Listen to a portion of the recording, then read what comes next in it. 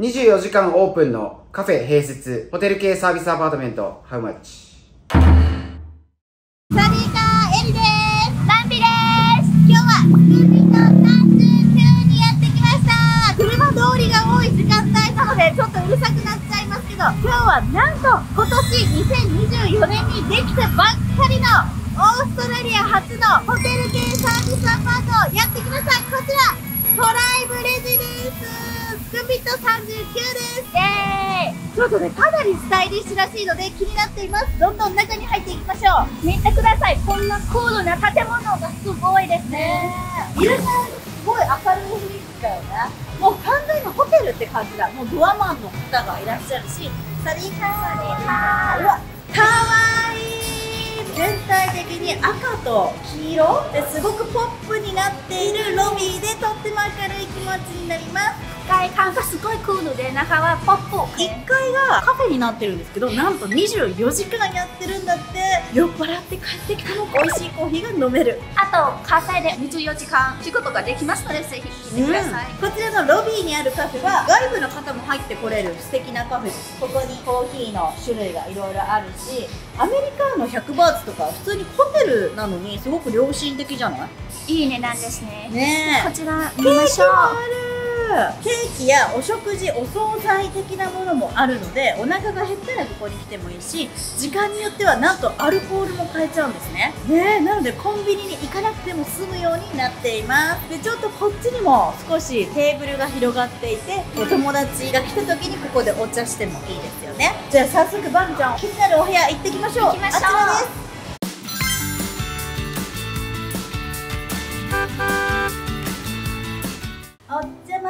ます。わ、かわいいすごいポップでおしゃれですね。やっぱさ、ロビーみたいな感じでとってもポップでキュートな感じのお部屋です。今回はスタジオ28平米のお部屋です。なので皆さん一人暮らしの駐在員さん向けかなという感じでちょっと見ていきましょう。なんかさ、全部黄色なんだけど可愛いね。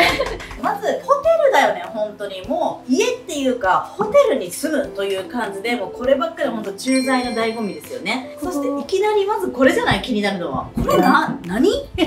なんて呼んだらいいんですか？これが可愛いですね。で、なんか鏡でね、チェックできて、ここにメイクアップルームとか Do Not Disturb とかのボタンもあるしこう、あ電気もね全部ここだし携帯チャージャーとかもあるのでここにさ携帯置いたりできるよねこのスタンドになってるので身支度セットみたいな。確かに香水と携帯充電器とシュシュって家出る時にできるような感じかな。スタジオだから小ぶりではあるんですけど一人暮らしの方だったらこれで十分だよね。十分ですね。どこから見ましょうか？ねえなんかもうどこから見ていいのかわかんないんだけどとりあえずじゃあ目の前キッチンから行きましょう。スタジオだけどちゃんとキッチンついてるしサービスアパートというタイプになりますのでなんかいろいろついてるっぽいのでその辺見ていきましょう、はい、まずコンロでしょ？2024年にできたばっかりだから全部とっても綺麗。ピカピカ新しいものですね。そう。シンクコンロ全部ピカピカです。そして洗濯機もなんかかっこよくない？かっこいい。クールな感じでまとめてくれています。これもついてるかな？コーヒー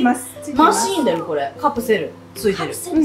全部ついてます。すごい。カプセルはもしかしたら自分で追加してどんどん買っていけばこの機械は貸してくれるっぽいですね。嬉しいね。電子レンジも。もちろんついてるし何が他についてるのか見ていきましょう。冷蔵庫はもちろんついてるんだけど一人暮らしだと思いますのでこのサイズ全然いいよね一人だったら。多分ねみんなタイに来たら料理しないよ。しないよ。ね。しない方が安いですよそうなのそうなんですよ。意外とこの辺屋台もあったりするのでそういうのはいいかも。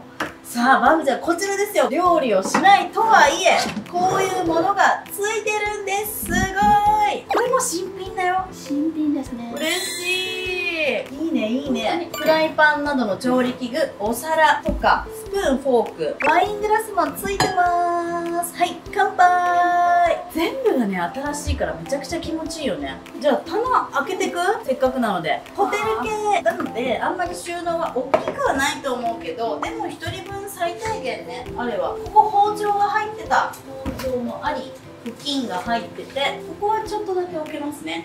一人にしては十分ですね。なぜかさここに全身鏡があるんですよ。いきなりキッチンに。今日のファッションチェックがここでできますね。はい。私だったらワイン飲んで酔っ払ったら自分で「よー」話してます。自分に乾杯するってことかな？そしてこちら奥がお手洗いとバスルームじゃない？待って私。バスタブないと思ったんですけどバスタブがあるよバンビちゃん。あります全室バスタブあるんえですー、外国のさホテルってバスタブなかったりすること結構多いんですけど嬉しいねこれ日本人嬉しいですね。すごいかっこいいおね手洗い。全身ブラックでちょっとこう斜めになってる感じ。最新だね。これもほら化粧する用の。ちょっと持って帰ります。電気がつく鏡もありますし。これさウォシュレットですよね多分。そうですそうですそうです。このコンパクトなタイプ手動でやるウォシュレット。ウォシュレットとバスタブがついてる。めちゃくちゃ嬉しい。見てください。バスタブ。小さいかと思ったんですけど意外とめっちゃちょうどいいじん。ゃんさっきのワイングラス持たせたいぐらい確かに一人だったらねここでワイン飲みながらお風呂入りながら YouTube そうですね。ちょっとワイン飲みながらあ大丈夫？元気？なんか面白いよ酔っ払ってるなそれは。意外と深くて広いバスタブ。ねそうですね。ところで水圧チェックもしちゃいましょう。せっかくなのでバンビちゃん濡れちゃうからちょっとじゃあ。気持ちいいシャワー浴びたくなるくらいですよ。強そう強そうですけど痛くない柔らかい感じの。もうあったかさはどうですか？あったかくなってきました。早い早い。はいそれでは午前中何点でしょう？4.5はいではこちらダイニングテーブルここです。仕事とかもここでできそうな感じじゃないね私ねこれすごく気になったのがテーブルの足の部分めちゃくちゃ可愛くない？かわい。ないんかアリス・イン・ワンダーランドみたいなさすごく可愛いんですよ。でも男性でも全然住めるような感じの雰囲気の柄のお部屋なのでここは住んでたらかなりいいな。センスいい人だなっていう感じになります。ここは荷物置くとこだよね。スーツケースだったり大きな荷物がある方はここに置いて。テレビがさ日本のテレビが TBS テレビ東京日テレテレビ朝日すごい。すごい。初めて知りました。ねオーストラリア系のホテルって聞いたんですけどめちゃくちゃ日本びいきじゃない？優しい。嬉しいですね。さあベッドは？またこれ素敵なんか。ベッドかなり大きなふかふかのベッドです。一人に全然コロコロできますし、うん。見てくださいこの。なんなのこのテーブル。IKEA とかみたいなすごい可愛らしいんですよ。なかなか自分では揃えられないような家具が揃ってるね。おしゃれ。だってこの電気とかもさなんと伝えたらいいかわからないけどとにかくおしゃれでスタイリッシュ。さあ目の前収納ございます。じゃじゃーんで見てこの収納も全部は閉まらないというあえておしゃれな感じ。どっちかにしか行かないよって。金庫もしっかり置いてあります。金庫もあるしヘアドライ。ヤー。さすがサービスアパート。ヘアドライヤーがついています。棚もしっかりあってこちらも。ここも棚かな？はーい。ここも大きい荷物とかね皆さんここに入れることができます。収納もしっかりありますね。サービスアパートなのでメイドサービスは週に2回あるそうですよ。ありがたいありがたい。でこちらです。けどシックですね。シックだけどポップで可愛い感じのソファー。お仕事はもしかしてこっちでもいいかもね。こっちで仕事してお茶飲んでテレビを見てみたいな。そうですね。寝ちゃってもいいくらいの。確かに。広い。今クッションでパンパンになってますけど結構広いですよ。多分お友達来たらここで寝れるくらいジオタイプでも使い方によってはすごく広く使える気がします。バンビちゃんこれアイロンもついてない？ついてましたね。結構大きいやつ。いいやつっぽいです。シュッシュできる。シュッシュできるやつ。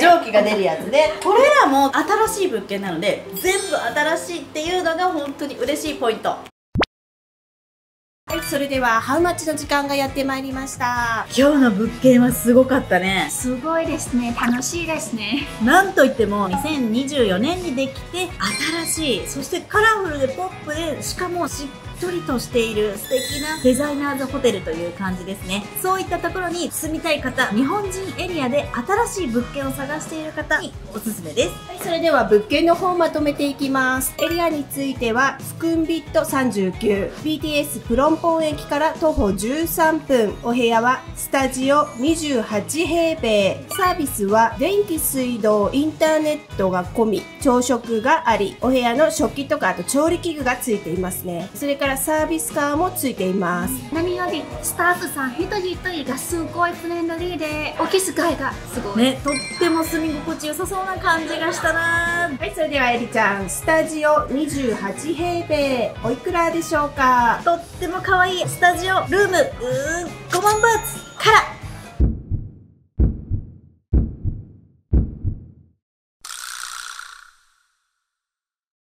イリエモギリよいしょやっていきましょう、えーお題はこちらです。こんなお部屋は紹介されたくない、うん。どんなの？どうしようかな。言ったれ言ったれ。最寄り駅まで徒歩2年。